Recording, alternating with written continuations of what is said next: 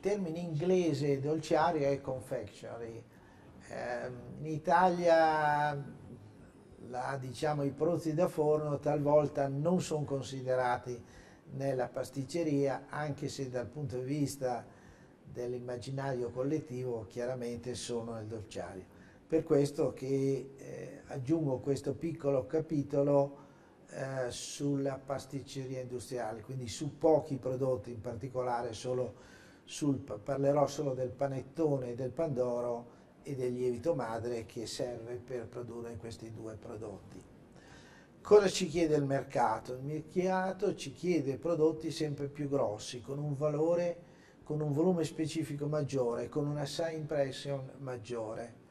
È chiaro che questo volume, diciamo, ottimizzato verso il valore più elevato dipende dal processo, perché mentre un chilo di popcorn può occupare ben 14 litri, è chiaro che un biscotto più di 2 litri non, riesco, non si riescono a fare, quindi ehm, secondo il processo noi possiamo ottenere prodotti più o meno voluminosi.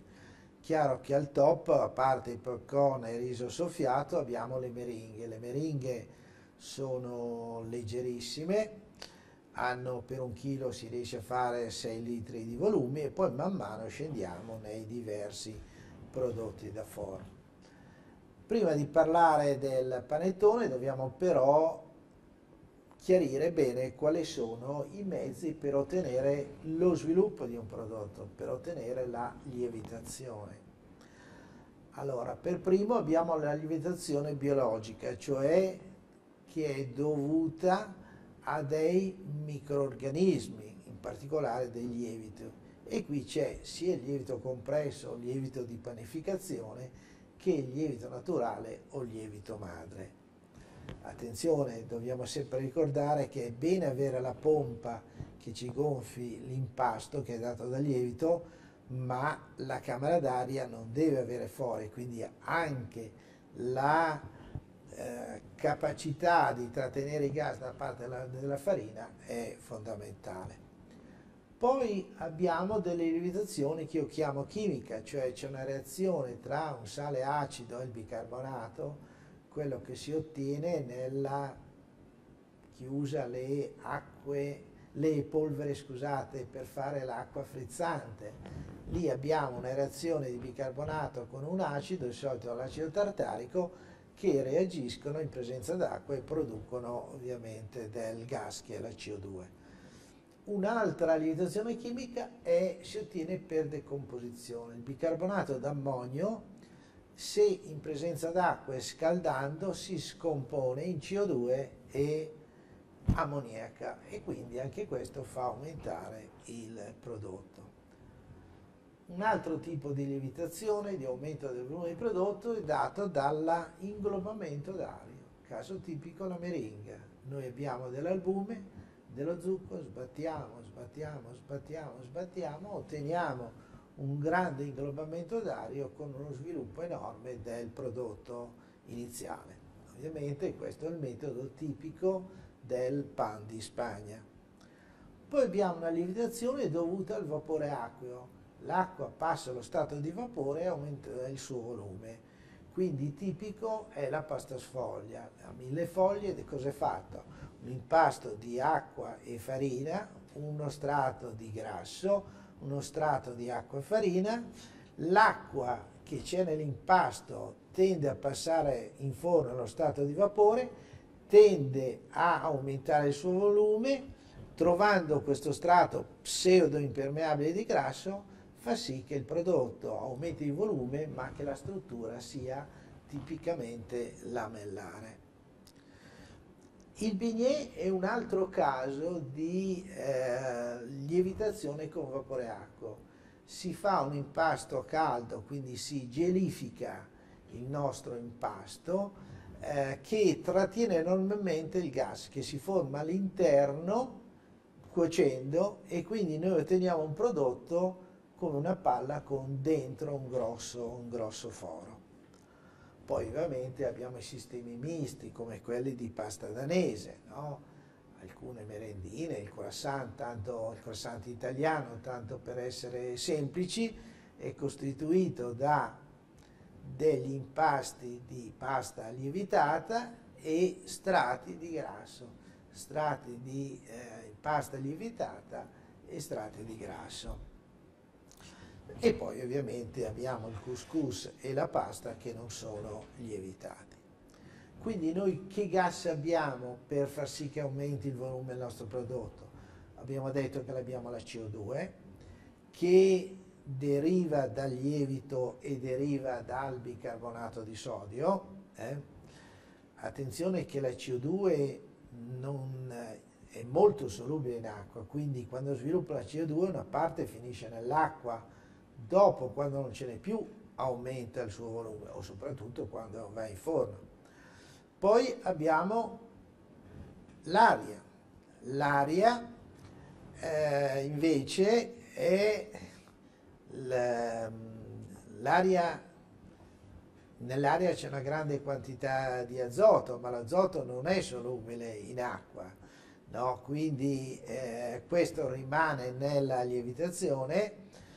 Eh, nell'aria c'è anche un, certa percentuale di ossigeno che invece è consumato dal, dai lieviti e quindi questa aria che rimane all'interno del prodotto poi in forno tenderà a aumentare il suo volume. Poi abbiamo eventualmente l'ammoniaca eh, che eh, deriva dal bicarbonato di ammonio. Anche l'ammoniaca è solubilissima in, in, in acqua, quindi se avete un prodotto che non diventerà secco, non sarà un biscotto che è, ha uno spessore di pochi millimetri e quindi tutta l'ammoniaca andrà via, anche perché è molto secco. Se avete per dire delle tortine, può essere un plum cake dove abbiamo magari 10% di umidità o maggiore, sicuramente una parte di questa ammoniaca rimarrà intrappolata dentro, dentro proprio per la solubilità dentro l'acqua. Quindi magari io che sono un tecnico tagliando questi prodotti sento un leggero odore di ammoniaca. Poi abbiamo detto c'è il vapore d'acqua, nel forno l'acqua si trasforma in buona parte in vapore e quindi aumenta il suo volume e poi ricordiamoci che i lieviti producono anche una grande quantità di alcol alcol che anche lui è fortemente solubile in acqua, quindi una parte rimarrà nell'acqua, ma comunque l'altro ci servirà per far aumentare il volume, il nostro, il nostro prodotto. Dove è nata la lievitazione? Dove è nato il pane? Fino a qualche anno fa si diceva una cosa diversa, nel 2004 un professore su un grande articolo di Nature ha dimostrato che in una zona di Israele è stato trovato dei residui che sembrano derivare da una produzione di pane e eh, con eh, i metodi del carbonio 14 è stata determinata un'età di 12.000 anni. Fino a qualche anno fa, dicevo, eh, l, ci sono diversi, diversi residui archeologici come quello ad esempio raffigurato, che dicono che nell'antico Egitto, Egitto si raccoglieva il grano e quindi è da pensare che facessero anche del pane. Con quale lievito? Beh, prendendo un pezzo della pasta del giorno precedente, quindi è quello che noi chiamiamo oggi lievito madre o lievito naturale. Eh, in Scozia, eh, qualche secolo fa, già si faceva il whisky, il whisky deriva dalla fermentazione di molti cereali e la fermentazione è legata a dei lieviti. Eh? Questi lieviti una volta che si era sviluppato il gas non servivano più a nulla e quindi erano stati usati per fare il pane. Poi, poi dal whisky si è passati alla birra, tanto è vero che ancora oggi molti panificatori lo chiamano lievito di birra, anche se oramai è qualche secolo che non si usa, si usa più. Oggi si usano dei lieviti di coltura pure, sono dei Saccharomyces cerevisiae, eh, isolato dai diversi produttori che hanno certe particolari caratteristiche certamente superiori a quelli del lievito naturale dal punto di vista della formazione di anidride carbonica. Ecco, questa è una fotografia del lievito di panificazione, ma che la legge italiana chiama lievito punto eh, quei panetti eh, devono avere un'umidità non superiore al 25%. Nel 98, quindi non parliamo di un secolo fa, si è dato anche il permesso di fare quello che usava in tutto il mondo la crema di lievito. Se aggiungete un 5% di acqua diventa una crema e quindi si può pompare dal punto di vista della logistica industriale nettamente meglio. Quindi questo lievito compresso, detto di birra o secondo la legge lievito, può essere sotto la forma di lievito fresco e quindi ha la durata di 3-4 settimane, ma oggi il sistema di distribuzione in Italia è tale per cui voi potete farvelo portare tutte le settimane poi c'è quello in crema che eh, ha una vita più breve proprio perché ha più acqua, diciamo un paio di settimane al massimo. Una volta se ne doveva usare, eh, diciamo, che questo qui era più concentrato, ma oggi hanno fatto sì che il rapporto di conversione è uguale, per cui chi usa il lievito compresso può passare a quello in crema usando la stessa quantità e poi ci sono del, dei lieviti secchi più o meno attivi che servono per dei casi particolari, no? per i kit per fare le torte, i kit per fare la pizza, dove lì deve durare tanto tempo, non a temperatura refrigerata e quindi siamo, siamo obbligati a usare questi lieviti secchi. E qui comincia il primo punto. Talvolta questo lievito è chiamato io dico erroneamente, ma se ne può discutere su questo termine, lievito naturale. È un lievito chimico? No, di certo. Da dove l'ho preso? Sono dei ceppi che le società hanno isolato in natura e poi hanno rimoltiplicato. Ma dal punto di vista della naturalità mi sembra che non ci sia da discutere. È lievito naturale. Esiste una definizione legale? No, il lievito naturale, che oggi viene chiamato più, eh, una volta viene chiamato lievito acido, poi si è passato al lievito naturale, oggi si chiama per lo più lievito madre, secondo questa vecchia definizione di professore di Milano, ho detto è un impasto di cereali, anche se si può usare non cereali, lasciato fermentare spontaneamente però non c'è una definizione legale, la definizione legale è solo in una legge particolare francese.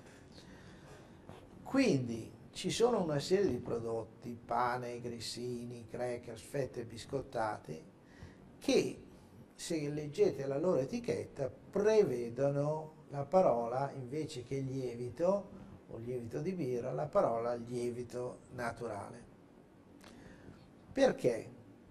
Allora, se voi fate un, questi impasti con del lievito diciamo, di birra per intenderci o di panificazione o compresso, voi vedete che in un paio d'ore il prodotto ovviamente si, al, si aumenta di volume, ma se leggiamo il pH vedete che si abbassa, cosa vuol dire? Che acidifica, perché alla farina ci sono sempre dei lattobacilli allora il lievito naturale, vi dicevo, si chiamava lievito acido perché acidificava e perché lievitava, perché aumentava il suo valore. Quindi voi capite che eh, non essendoci la legge, sia questi prodotti che gli, quelli fatti con lievito madre vero, tra virgolette vero, dal punto di vista legale sono tutte e due nelle stesse condizioni. Quindi vediamo un po' qualche altra definizione. Il lievito sono cellule viventi per lo più di Saccharomyces cerevisiae che vengono usate in panificazione, nella produzione della birra, in tanti prodotti dolci, sotto forma di lievito compresso. Eh. Il lievito naturale o acido madre sono degli impasti lasciati lievitare spontaneamente e che in genere derivano da lavorazioni precedenti. E qui compare la prima cosa. Sono impasti dove compare una doppia flora, ci sono lieviti da una parte e lattobacilli dall'altra. per capire la microflora di vita naturale bisogna guardare la farina innanzitutto. La farina ha un pH, come ci sono le proteine del glutine che tamponano il pH, sono sempre intorno a 6. Avendo questo un pochino di acidità si selezionano alcuni batteri, anche se non ha una, specie, una specifica microflora. Se voi prendete i salumi affettati e ne mettete contro la luce, talvolta vedete dei riflessi argenti, metallici. Questi sono gli pseudomonas perché sono tipici di quelle carni. Noi non abbiamo dei batteri tipici delle, delle farine. La flora che noi troviamo nelle farine dipende dall'acqua, dall'aria, dagli animali, dai sistemi di trasporto, dal suolo, cioè dalle condizioni in cui noi abbiamo pulito, trasferito, lavorato il frumento e che questi hanno causato poi questa contaminazione microbica. Quindi da una farina all'altra noi abbiamo dei grandi cambiamenti che poi vedremo ci causano dei grossi, dei grossi problemi. La microflora del lievito naturale da cosa deriverà? Deriverà dalla farina e dall'ambiente dove voi lo preparate. Dopo noi cerchiamo con i sistemi di coltivazione no, cerchiamo di mantenere questa microflora costante, che non, che non lo è affatto, e eh, queste specie, quelle che cresceranno di più? Quelle che sono ovviamente capaci eh, di coabitare tra di loro, perché per dire quando si produce tanto acido, tanto acidità, lattico acetico, molti Saccharomyces non crescono, molti Saccharomyceti derivati dal lievito, dal lievito di birra non possono crescere, muoiono. Quindi la tolleranza agli acidi grassi, ma anche agli antibiotici che producono i batteri lattici. E poi ovviamente ci sono le fonti di carbonio e di azoto che vengono ovviamente suddivise, quindi è un problema di competizione e di eh, trovare delle condizioni in cui possono convivere contemporaneamente. Ma quali sono le funzioni del lievito naturale? Abbiamo detto, la prima è di far aumentare il volume del prodotto, cioè la lievitazione vera e propria. Quindi noi da una molecola di glucosio il nostro lievito le trasforma in 2 di etanolo e 2 di CO2. Per quello vi dicevo anche l'etanolo ce n'è diverso, anche dopo cottura una certa un parte per, mi, per mille lo possiamo ritrovare. E questa diciamo, è una funzione dovuta soprattutto ai lieviti. I lattobacilli cosa fanno? Dico lattobacilli perché sono quelli predominanti, ma essendo questa, questa flora che cambia nel tempo, possiamo anche trovare degli enterococchi, delle oconostoc, dei pediococchi. Questi producono acidi organici, acidi eh, che, che, noi possiamo avvertire semplicemente col naso perché l'acido acetico è molto forte, è molto volatile, quindi lo sentiamo produrre anche loro tanta CO2 perché si pensa che il 50% sia dovuto ai lattobacilli, ma hanno due cose essenziali. Uno, cambiare l'aroma del prodotto, ma quello più importante è il rallentamento del raffinamento. Come? Attraverso la formazione di esopoligosaccaridi.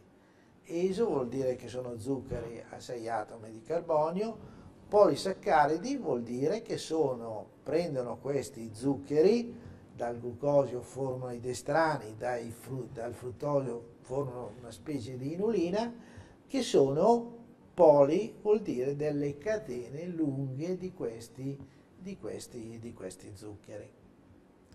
Quindi noi abbiamo un, nel nostro lievito madre un sistema veramente complesso, ma che è in continua evoluzione.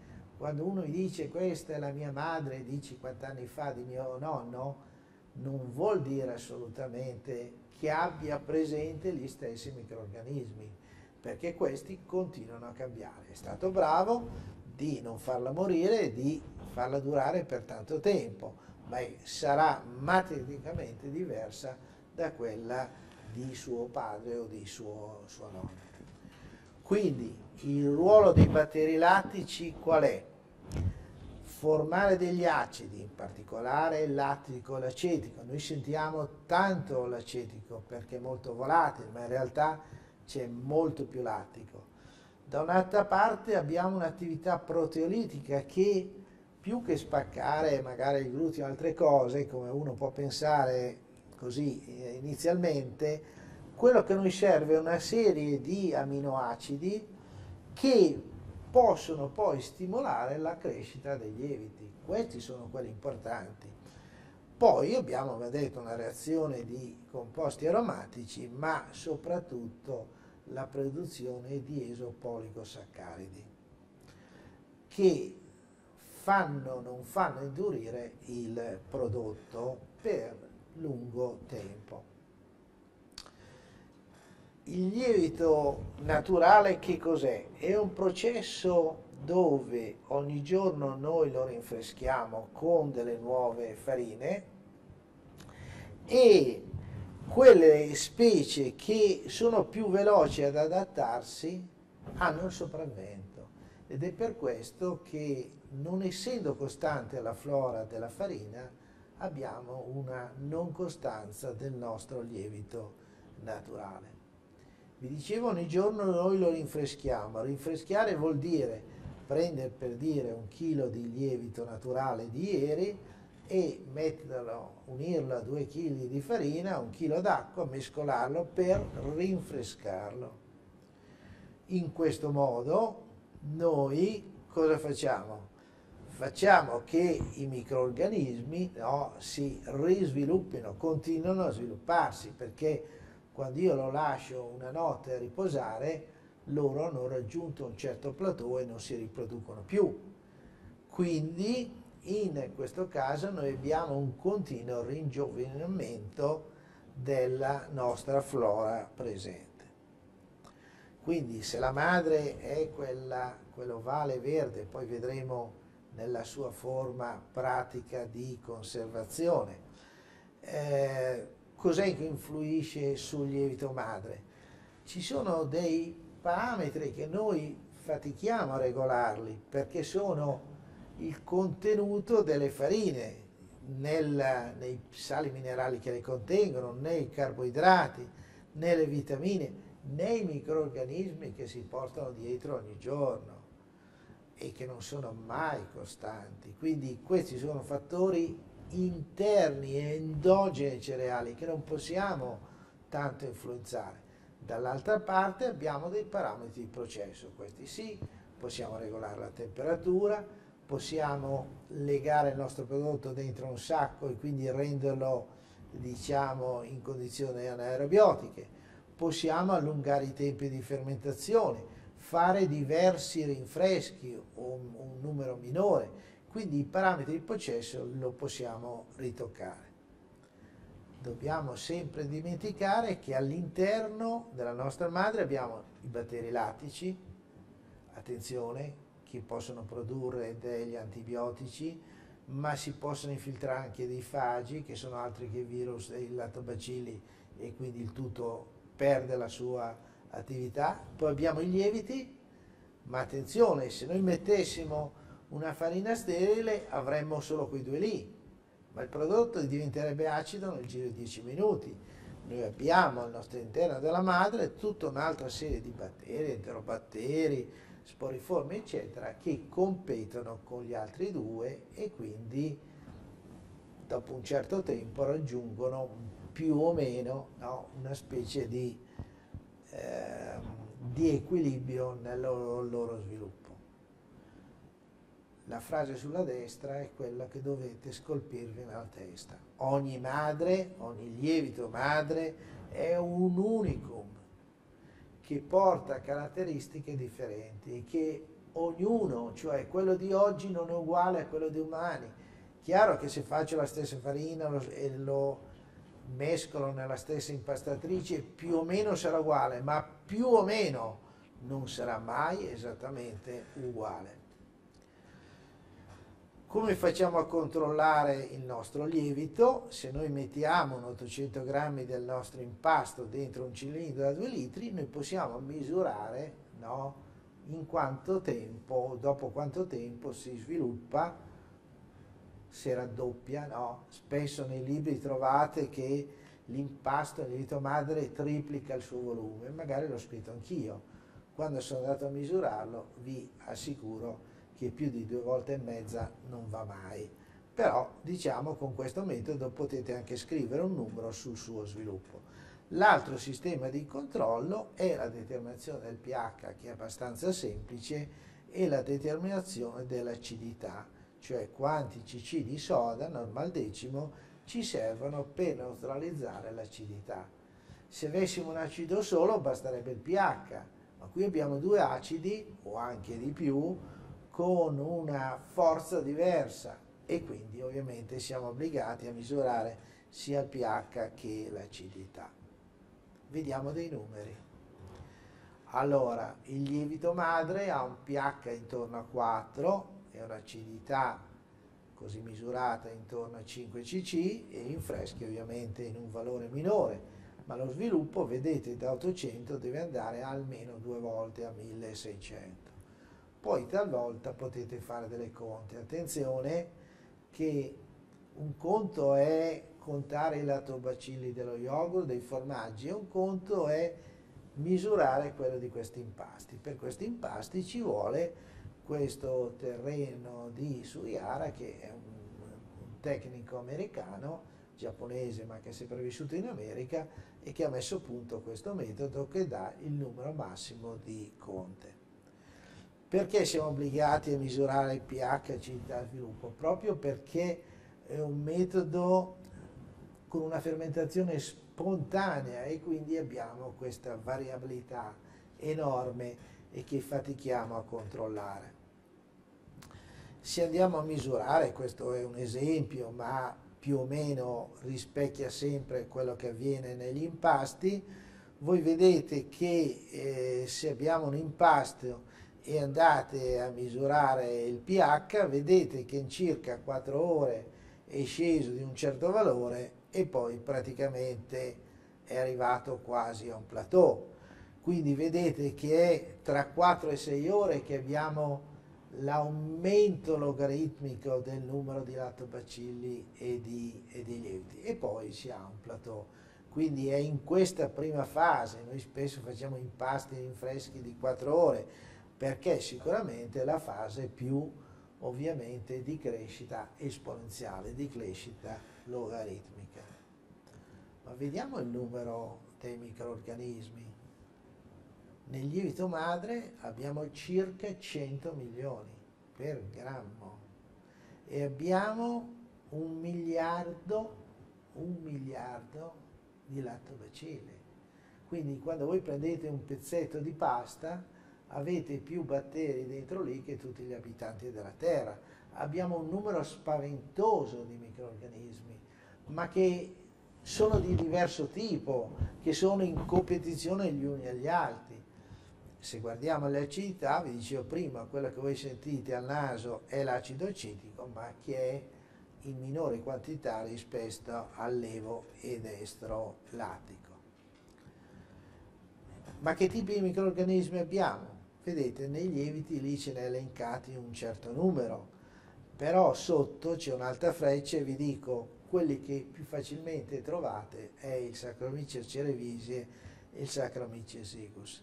Nei batteri sono sempre molto di più e c'è una variabilità maggiore, quindi c'è il San Francisensis il pontis che cresce a temperature elevate, per cui in Italia io non l'ho mai trovato, il plantarum, il brevis e così via.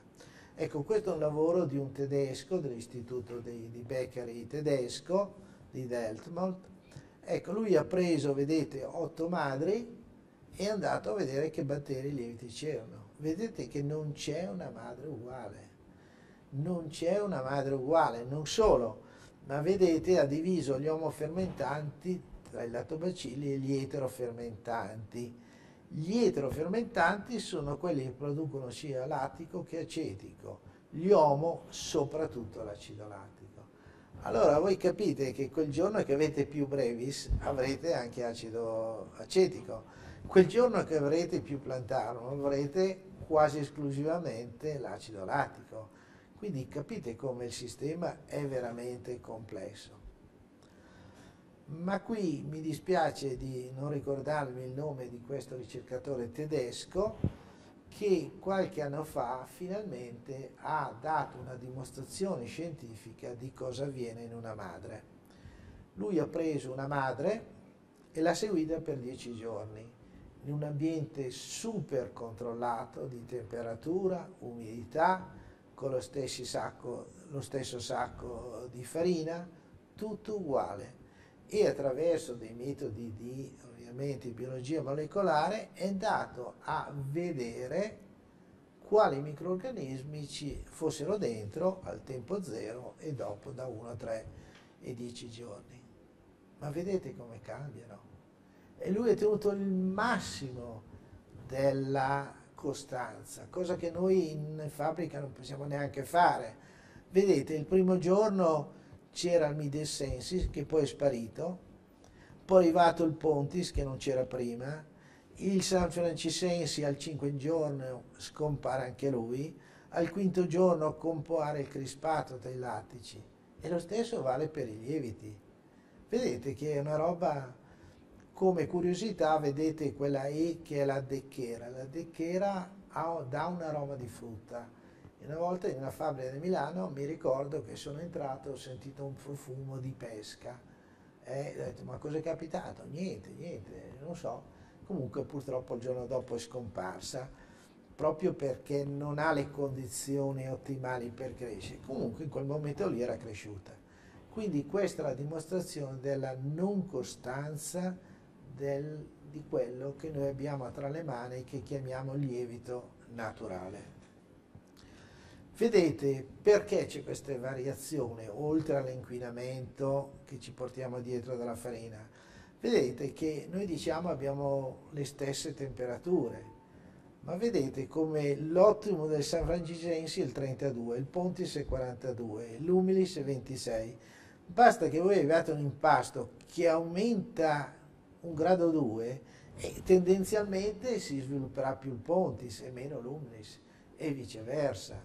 Quindi effettivamente è un, un insieme che per forza di cosa continua a cambiare. Qualcheduno è andato a vedere cos'è che eh, producevano questi microorganismi, perché qualcuno sosteneva che il lievito naturale non permetteva la crescita né dei muffe né dei microorganismi. In effetti tutti gli acidi tendono a calmare la formazione dei muffe e in particolare il fenillattato. Però non fidatevi perché sì, se fate un panettone e lo vendete in 15 giorni magari non crescerà nessuna muffa, ma certamente lo è a rischio e quindi è meglio non fidarvi di questi composti che comunque ci sono nel lievito naturale. Vi dicevo, i latobacilli sono numerosi, nel caso dei lieviti, vedete nell'80% dei casi c'è un solo lievito, contemporaneamente nel 17 quindi è due, poi c'è una piccola parte con tre specie nel 91% dei casi è Saccharomyces cerevisiae, ma non è lo stesso ceppo del lievito compresso di panificazione, perché quello non resisterebbe ovviamente all'acidità prodotta dal nostro lievito madre.